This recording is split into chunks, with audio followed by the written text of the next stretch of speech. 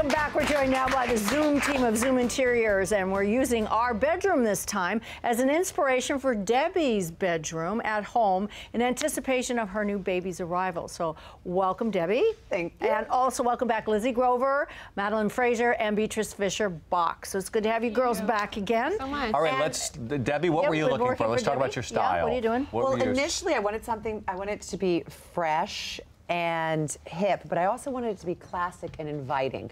So those are very different ideas, but these girls were able to put them all together. Okay. I know you. You have expensive taste. I do. yeah. Which What is a kind bit of a bu- problem. Yeah, so you turned to that. You worked within a budget, right? Mm-hmm. What are we? What are we looking We were at? working with three thousand dollars, and Okay. considering we were buying all new furniture, that was a pretty good budget that we were working with, and it and it worked out well. And there was one thing that you guys were. Re- she was really sold on. I was. We worked around the bed. What I really fell in love with when the girls came to me and they showed me their inspiration board, I fell in love with this bed. I just needed to have it. So we worked around that big focal point to make the rest of the room work. Okay, so the bed was the focal point. Is that how you girls usually work? You take a focal point and then work around it?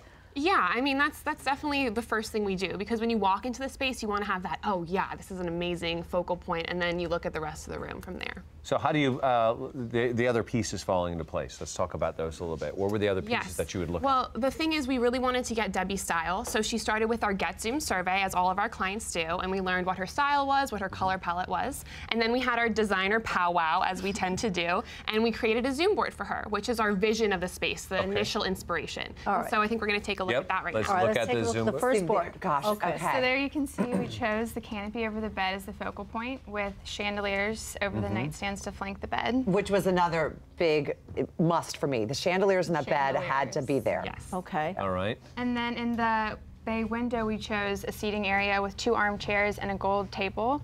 And then lastly, Debbie really likes it. Our idea on this was throwing a cowhide under that seating area with some throw pillows to give it a contemporary edge. So Debbie, they come to you, they show you this, and now what happens? Do you? So I, I mean, working with these girls is amazing because they really take your vision. I've had interior designers come into my home and do different rooms, and you uh-huh. say, "I like this," and then they come back and they say, "Well, I know you like that, but I like this," and, you- and you feel you kind of get strong-armed into it, and you go, Yeah. "Well, you're a designer, okay, you must know better," and then you look at it and go, "Oh my gosh, I don't want to live you. here." Yeah. Yeah. But they really made it me, which was great.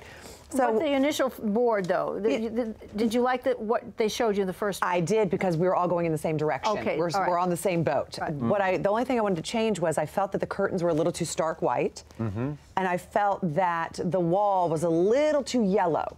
All right. So I asked to go a little warmer with the curtains and the wall. and their response was another um, Zoom Another board. Zoom board, which we, Okay. we usually do with clients. We revise it up to three times. Okay. So that's that's really normal. And then we, we make her a new vision, and then she can see how it's going to look in the space. All right, well, let's Okay. take a look at the second board and see what Yeah. that looks like. Do we have that? Yeah?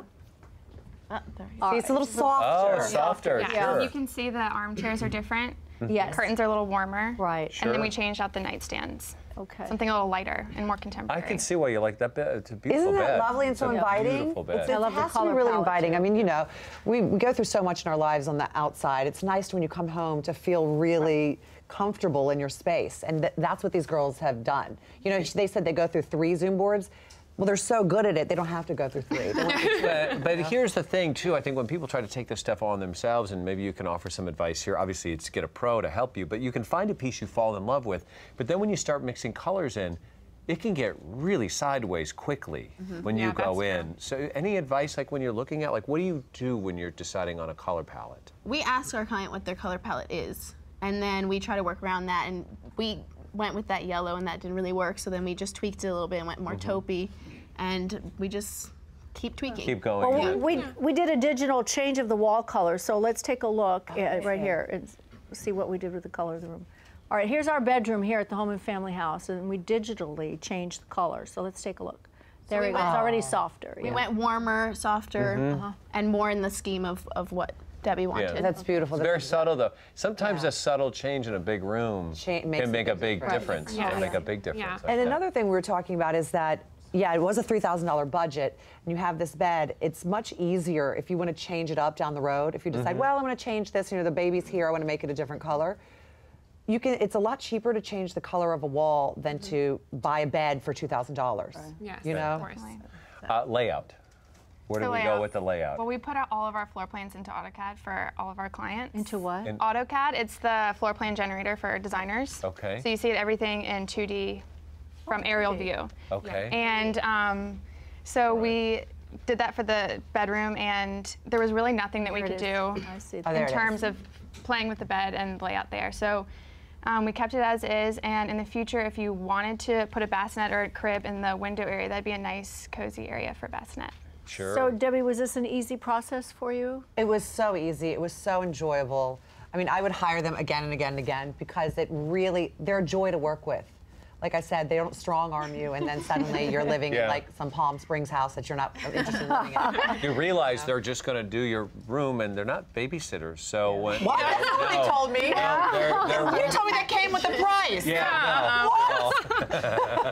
Just want to point that out because I think you're going to be be her baby on hips no, sooner than you know it. I, Yeah, that's. Well, I know. I know, From- but he said, I just told her this morning, you, you have that glow. She, for the first time, you don't look sick or gray. You're over all the nausea. Now Thank you have the baby glow. So, Madeline, uh, you do. You look beautiful. What was the overall effect that you wanted to achieve, Madeline? Well, we really wanted to have this elegant, glamorous look. Um, we were going for a glam, country, French chic, shabby chic room, and you know we wanted to follow your inspiration and your design, and also show our versatility as designers. That was really important to us. Well, you're, we're going to see your versatility and your speed because tomorrow yeah, yeah. I know. you're all know. dressed up and looking Overnight. pretty Oh, but we have our Converse. So oh, we're, you're- Oh, look at that. Ready to go. ready to work. Yeah. they go to work. They go to work very fast. Tomorrow we're going to see the finished product. More information on how you can get zoomed by going to zoominteriors.com. Thank you, girls. Thank you nice so much.